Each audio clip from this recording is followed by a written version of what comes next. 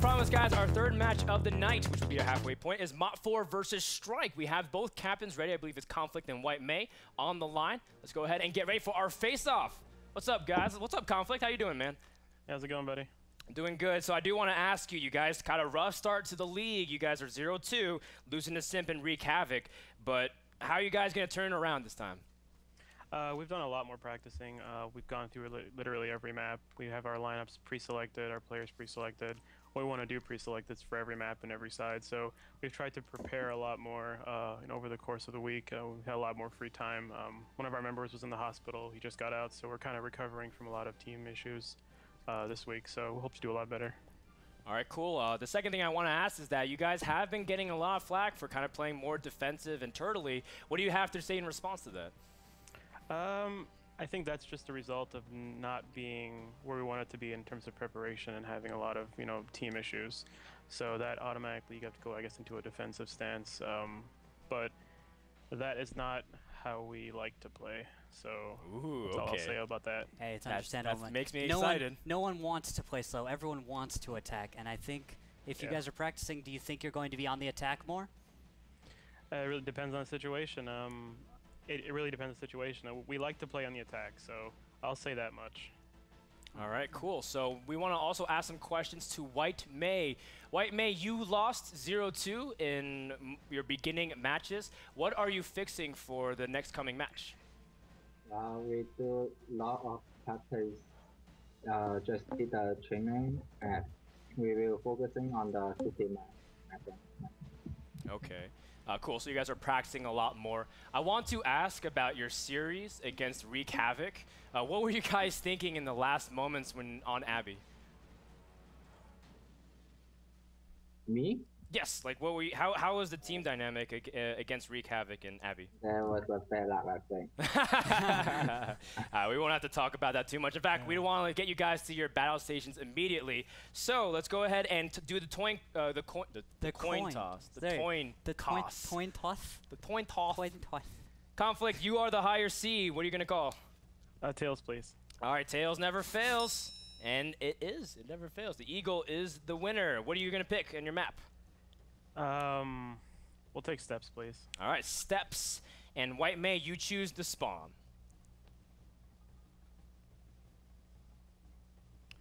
Uh, I will say south. South side. Okay, so we're going to have Steppes south for strike, and north will go to Mop 4. Thank you guys, and good luck in your battle. I, I don't really see any way of, of Mop 4 pushing into strike. I mean, keep in mind that uh, Mop 4 did get the first map choice. Maybe they pick Steppes because they feel confident to, to, draw it out and then trying to let things play out from there. Uh, so we have 50 seconds on the clock, but I don't foresee any true movement coming out just yet. Uh, but Strike, they're the defensive team. They're very good responding to big attacks, rearranging and covering and making sure that they survive. They're very good in those positions. When we've seen Strike try to go aggressive, that's when they've kind of fallen apart in the past. Yeah, and they actually are set up perfectly for the only attack that I would consider truly viable against this position. There's uh, there's two T69s, Lustburn and Megumio. You see other than these two bushes on uh, on my screen? Yes, perfect, awesome. And they've got great fire down one of the attack lanes that I would consider most viable for Mop 4. I think Mop 4 might have picked up on that kind of positioning, and they're just not Yeah, going to risk after it. Captain No Pants took some damage. Nemesis here coming right at the end. It won't matter. Tier 1, uh, T1 dying is inconsequential as we do have a draw for the first map of the series.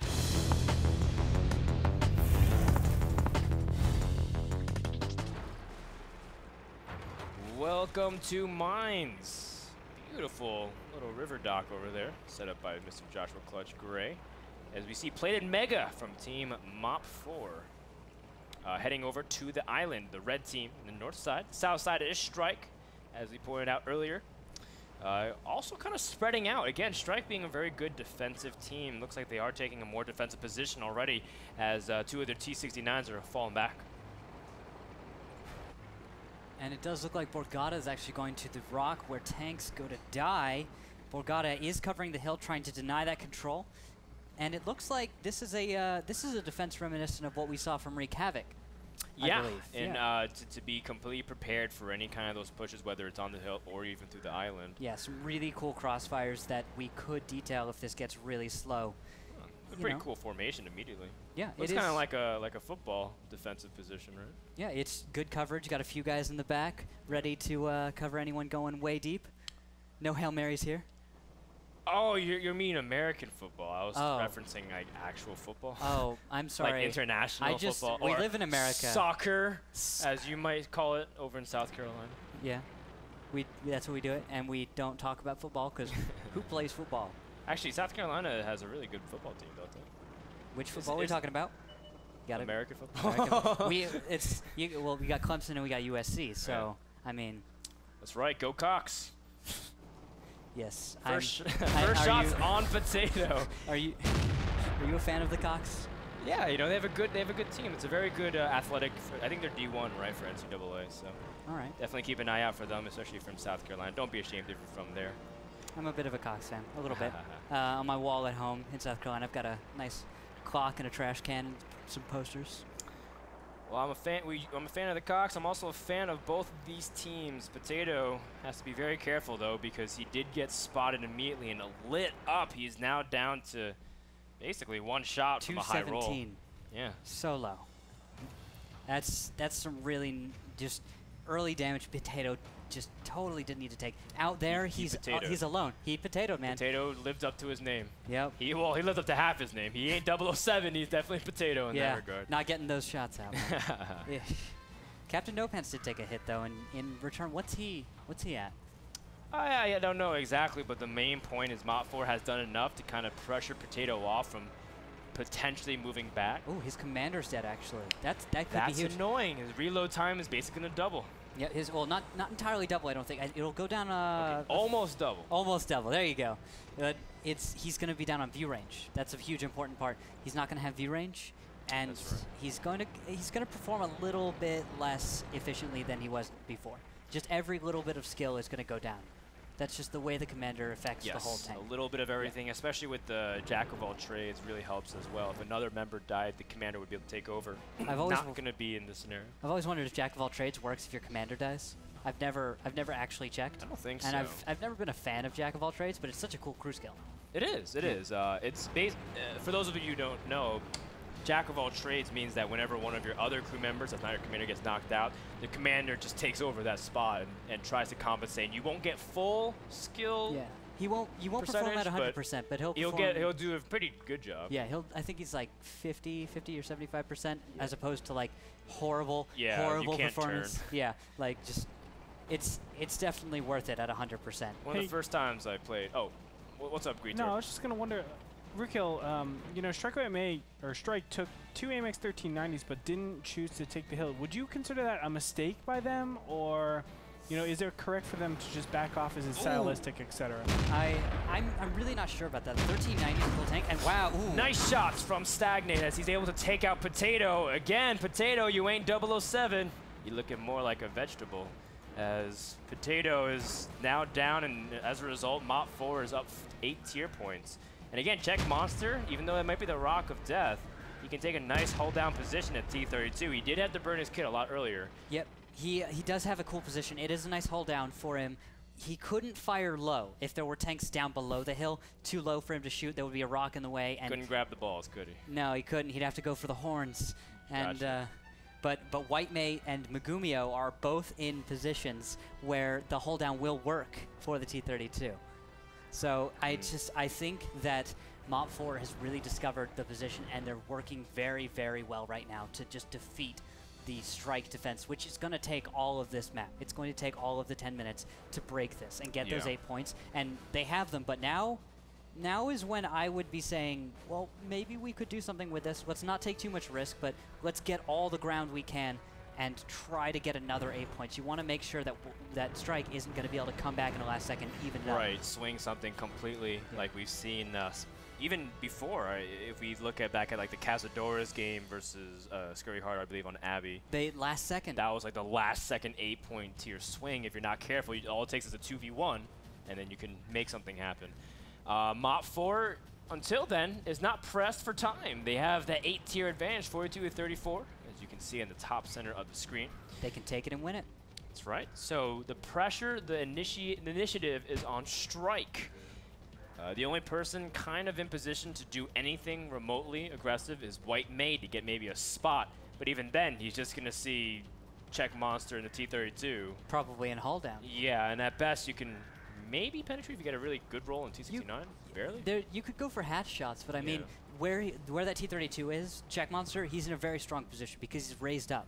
If if the T-69's at the high Oh, ground, So it's even an angled. yeah, right? yeah. With the nice so hull down it's a position. very tight shot to get that that commander's hatch on the top. So can you penetrate? You- I mean, it's 298 armor, but then with a with an angle. it's such a thin shot.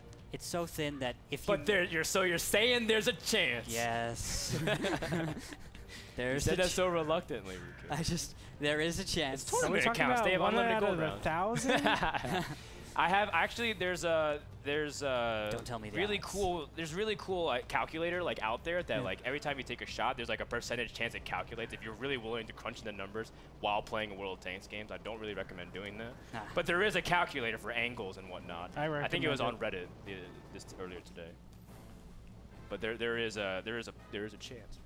There's always a chance. Probability. Generally, generally there is a weak spot on every tank whenever he's exposed, just Except a little the bit. T32, right? Well, except for the T32. there's no It's- there's no weak spots. the there's T32. it's like reverse angling, and then I mean, reverse angling is one of the the hardest things to break. A hull down, another one of the hardest things to actually pen someone. Yeah. Face hugging, done very well. What about like a reverse angle hull down position? That's just like That would- impossible. Is that even? Is that, that's just do it? Do you just do? That's too much. I mean, by that point, it's that's like, what we call a try hard, right? In puppies when people Yeah. are doing that. It's like you're really, you're really reverse angling in a hull down, buddy. Seriously, you're angling your turret and hull down. Ah, That's a, little, that's a little excessive. yeah. But you know what? You can't be too cautious if you're Mop 4 because inevitably Strike has to do something.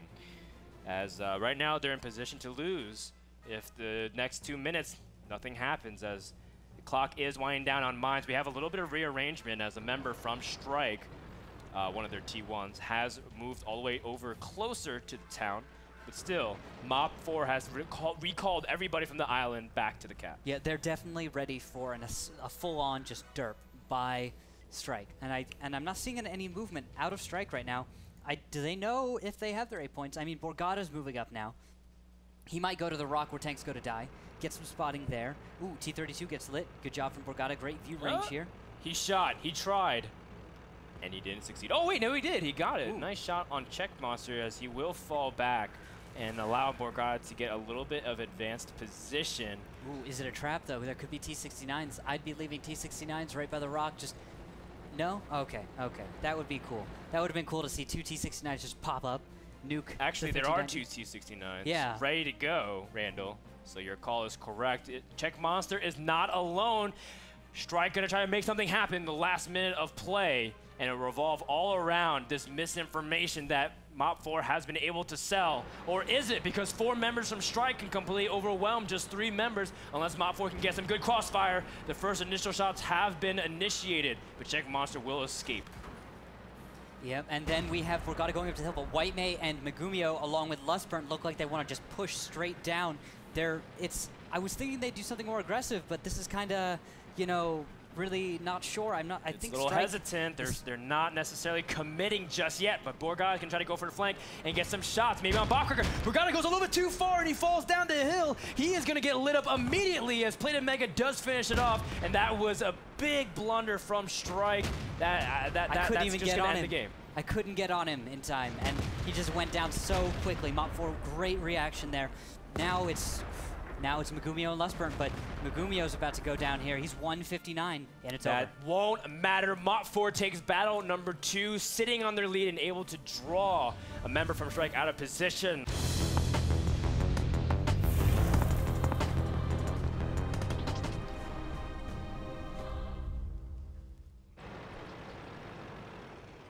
Welcome to Himmelsdorf. Nemesis taking out the fury of what could potentially be a lot of tension built up in this series. As Mop 4 is the red team in the bottom half of Himmelsdorf, Strike has chosen the north side as well, both teams kind of shoving a lot of their members over towards the eastern side of the map, but Mop 4 is sending one of their heavies that could be the, the 5100 or the IS3. Do you think we'll really see? Do you think we'll see a big hill fight?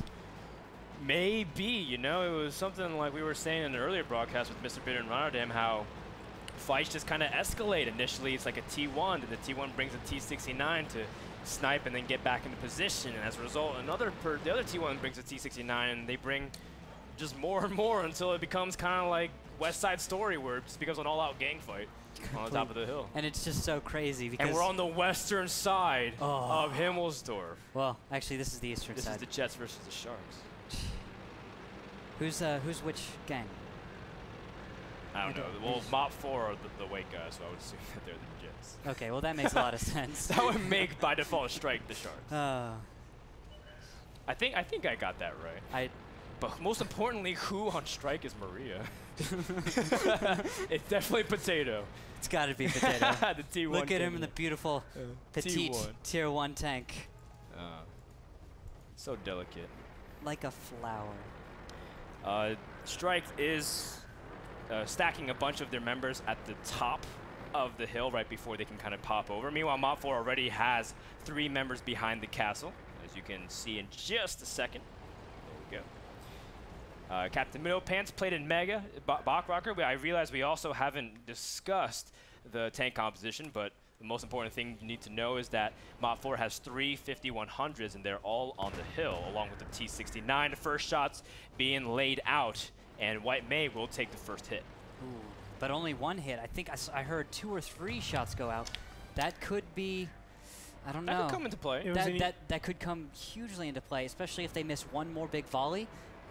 You could see a push out of strike. I mean, if they decide Right, to they share the damage, yeah, they try and f- share the damage. They could get in there and just clean up on those 5100s as they reload or as they're on the last shots. Uh, it may require one more tank to come up to the hill, though. Maybe Lustburn or Megumio to lead the way. Maybe you can see that. Greetor, what were you trying to say? No, what were you trying to point out? I out? was for saying us? conflict was taking a little bit of damage as well, as you can see in that tier one battle. Oh. Unfortunately, Another tier one might get the punishment though, Oh, yeah. And Greater Van drops immediately, and that gives a pretty decisive advantage for Mop 4, even if they just scale back and pull from it. Even if they do that. But we'll have to see what happens. Well, we've got actually both Lustburn and Megumio are pushing in their IS-3s. They see all this pressure, and actually, ooh, they're going to push straight to Check Monster. Great shot, tracking and damaging Megumio. That is exactly what he needed to do to slow the ascent, to slow the assault of these IS-3s. I think he's all alone. Did Megumi, Megumi know? Hmm? Did he burn his repair kit immediately? Yes, he burned oh, a kit. Wow. That is, that's why it's huge. He's tracked out. He probably didn't need to burn it. Maybe. I'm, I'm, I'm it's a, it's a question to ask. Ah, well, well, we can ask that another time as Conflict will sacrifice themselves to get the spot. Four members from Mop 4 is going to completely rush down three members of Strike. White Mei does manage to get some good shots before he drops, but it may not matter as three members from Mop 4 still are charging down the Western Hill. Fish is now under heavy pressure as Plated Mega is trying to go for a big shot. Now, Bach Rocker has to be careful. He doesn't want to go too far and overextend. He's just going to let his allies do their thing as the autoloader still has a couple shots. I believe uh, Bach, or I believe uh, Stagnate was still reloading there. Yeah, he'll be up in about, I think, five seconds or so. He stops. Shots coming out. Here we go. Oh, Fish trying to get around the corner. And he does manage to escape, giving some breath of life. P- Potato. Potato dies again. I'm giving him too much of a hard time, though. Yeah, you're really He's a reaming T1 him. against a 5100. Yeah, he doesn't stand a chance. Although I don't know if, if Maria! she's she's dead. Maybe, unless there's a, some sick plot twist at the end. Depends who's directing this movie. M. Night Shyamalan is. I, she's never did. I- think Clutch Potato is actually ever comes directing back our again. movie. Clutch is directing this movie. He's directing. Well, I expect a fantastic musical number at the end about maybe the shortcomings of Strike, as currently they are down 20. Oh, only 24-25. They got a nice shot off. Was able to recover.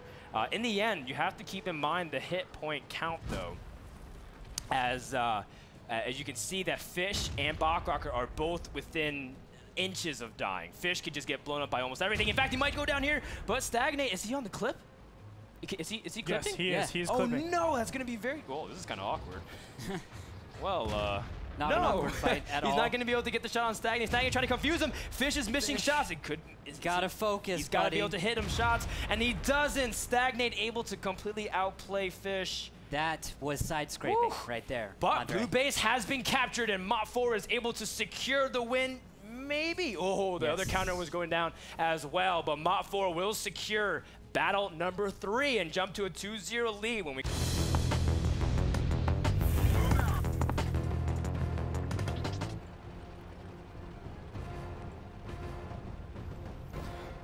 Welcome to Ruinberg, where we see the initial opening movements. Both teams heading over towards the East Delta Village. Go over tank compositions while we have a brief second here, Randall. Yep, so on the side of MOP 4, we've got a full autoloader team. We've got three 5100s and two T69s. And on the other team for Strike, it's an autoloader load loadout, but we've got a 1390 instead of a 5100 here. So Strike trying to be highly mobile next to uh, MOP 4's slightly slower autoloader setup. Uh, well, maybe that. I mean, we've seen 1390s brought to Ruinberg to get good scouting, as Borgata immediately spotted by Mop 4. Still doesn't indicate anything to Mop 4 of what's to come, but that does give some relevance to Borgata, as I don't think he got the full scout on Mop 4's composition, but his sixth sense did light up. Yeah, he didn't catch anyone. Really amazing. It's really unfortunate if you do that with a scout run. That's Huh. that was an Of all advantage. things, that of- the 1390 gets spotted. yeah, it's no, like no, no. Borgata, Borgata uh, saw his opponent. in Oh, okay. who did he see? I missed it. He saw. Let me see who it was. I know it was one of the AMX 5100s that crossed over, and that's obviously a huge tell because he knows. Okay, if you're crossing over the AMX 5100, I know the majority of your tanks. Are Yeah. Okay, If if he'd fair gotten enough. the full load, the full just entire team moving over, that would have been so huge. That's but that's all on Borgata as a scout to do that. He's in a 1390. He's got this great opening move that he can make as a 1390 that can catch the entire team if they're moving quickly over to the east, which they were. And he could have caught all of Mop 4 out and and we would have seen that. Then Strike could have moved up, taken Well, advantage. Strike was going all the way, uh, gunning down the A line. They weren't really gunning directly for the Delta Village. So even with them seeing the 5100 going into place, the rest of the team were just way too out of position to really take advantage uh, to react to that type of movement. Strike was the knight, and Mop 4 was the bishop. And Mop 4, as a result, was able to get there a little bit quicker. How do you like that, Greetor? Me gusta. A lot of squares you can move with the Bishop. Knight has a lot of uh, interesting positional advantages they can take. That's right, and Strike, they've been the team with interesting positional defenses thus far. Borgata's still making rounds, trying to get some scouts, but hasn't been able to counter scout the opponent. Randall, Yes. I'm going to give you a camel trivia. What's the camel rating on the 1390? What is it now? What is it nowadays? I, I'm asking you. I don't know. I used to know. It's 15%. 15%. Huh. What's the WZ132? I don't know, man. 15.5. Oh, that's cool. Now I know that the 132 has a better Slightly camo. better. Yeah. And you add like a 80% camo skill crew and plus like a net, and you'd be really cool. Be That's set. very cool because camo is now additive Yeah. instead of Instead multiplicative. of multiplicative. yeah. Which is huge because that means the difference between your heavy tank and, and the light tank is a very, very small percentage. That's right. It's, And- uh, and it's not as big as it used to be. least and light sure. light tanks, they get their advantage of, of camo on the move. As That's right. Still 15% if the 1390 is moving. So in this regard, if Borgata was unseen, even if he is moving within a certain range, he would still not be It's spotted. still so much less huge than what it used to be. Light tanks used to be just ninjas moving around in the open. You could just pop up anywhere. I know one time on. Uh, oh! oh, Well, Conflict was not a ninja in that regard. He got blown up immediately by fish. Very in fact, I think that's the first significant uh, s- uh, non-1390 scout for Mop 4. Wow. Yeah. That is, it's really unfortunate to lose conflict that, although he does have the advantage now of being able to direct his team without having to worry about driving He took the own team. Mac G approach, which is die early so that way you can issue out commands and orders. Very, very clever And it might here. result in a 3-0. Wow, I think I think Mac G might be onto something. If Mop 4 ends up winning this 3-0. What a brilliant plan. Throw away your T1, guys. Calculated. The Mac, Maybe, Randall. the Mac attack isn't actually an attack. It's just kill your T1. That's right.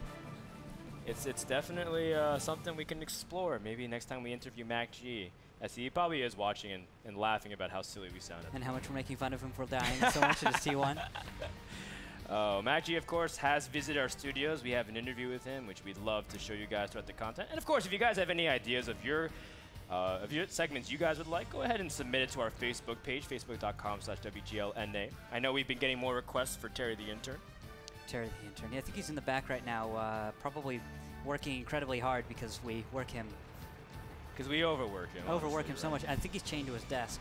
He is. Oh, good. Okay. No one let him out. Oh, Did we wow, feed him Randy. today?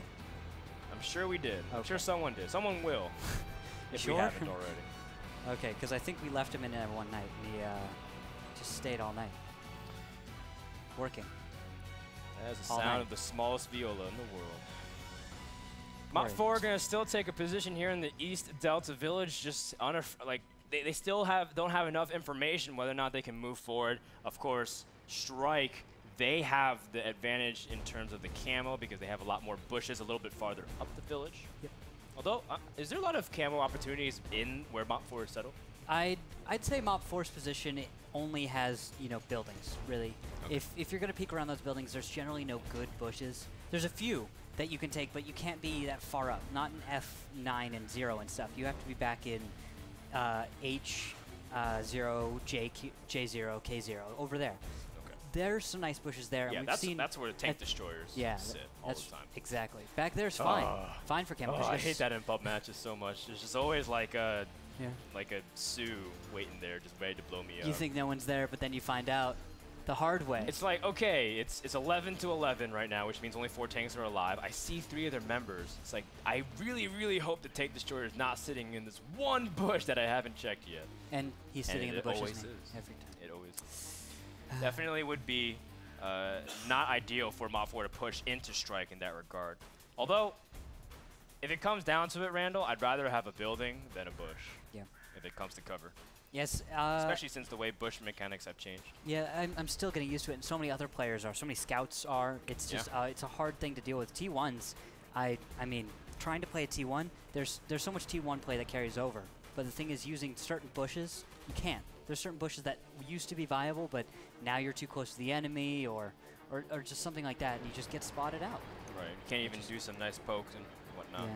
Before, you used to be able to shoot at pretty significantly close range and not get detected because you'd be 20 meters behind the bush.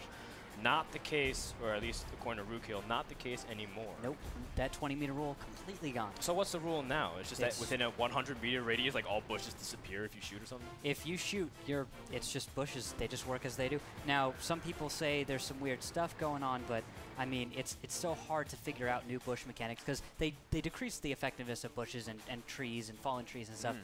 So, it's it's a matter of figuring out if if your additive camo if it adds up to something significant enough. Uh, well, again, uh, I encourage you guys to do some more research if you care a lot, if you're light tanks. Um, until then, we see Mop 4 has completely evacuated the eastern part of the map and has fallen back to their cap. Now there is there are still two minutes in this match, and we can still see something happen. And Strike is pushing just in time for for, For- Mop for 4. Mop 4 to actually yeah. leave. Yeah, Mop 4 has gotten straight out. Actually, it's good for Mop 4 because Borgata actually just he's in E7 or sorry, yeah, e, no E6, and he has he would have had great shots on Mop 4. Yeah, if he was in position. If there were some proxy spots coming out from the rest of his team members. Ooh. Oh, Ooh. but members of. Mop 4 conveniently were now looking towards Borgata's way as he's able to cross Lucky him. the road. Why did Borgata cross the road? To get to the other side. Well, Mop 4 wasn't looking. Well, that's just too bad for Mop 4 now, isn't it? I guess that's not why he crossed the road, it's how did he cross the road. So the joke is I have to work on. I have to work on my No, material. we- uh, why why to the Batcave Why did the 1390 cross the road? to get a flanking position. Well, it's, he's getting out of a flanking position. Look, Oh, well, you're buddies. right. He's actually just going straight on to Mop 4. Yeah. And in that regard, Mop 4 is ready to receive. Now, keep in mind, if this battle draws out, Mop 4 wins the match because at best, Strike can go 1-2. Borgata has been spotted. He's been doing a good job getting spotted and not damaged as he is able to see stagnate in reciprocation. Ooh, the shot has missed and chipped the fence. But he does take a hit. He's down to 906, and White Mei takes a hit too. Uh-oh, and just shots everywhere on to Strike as they have lost hit points spread across a lot of their tanks. Meanwhile, Stagnate finally taking first hits along with Captain No Pants, but it will result in Nemesis being taken out. Another uh, advantage in there. And also, keep in mind, Megumi, oh, Megumi No is actually down for the count as well. A lot of hit points still being drained from Strike. Captain No Pants trying to escape as he has Captain No hit points. Bachrocker is trying to go into a corner and bait out more members from Strike so that way Mop 4 teammates can clean up and be able to get the shots onto Fish as well as Lustburn, but it may not matter because Bob Brock Ford is is going such a the good final hit. position. Yeah. It's gun. I, I fi- oh, wow. Fish is also clipping, trying to get into a position. Fish caught once again, maybe clipping, trying to ram and do something. Lustburn, can he finish it off? No, he's clipping as well. Everybody's clipping. Draw. Draw. Okay, so in the end, Mop 4 gets the draw and wins the series 2 to 1. As Strike at best would go 1 2. Let's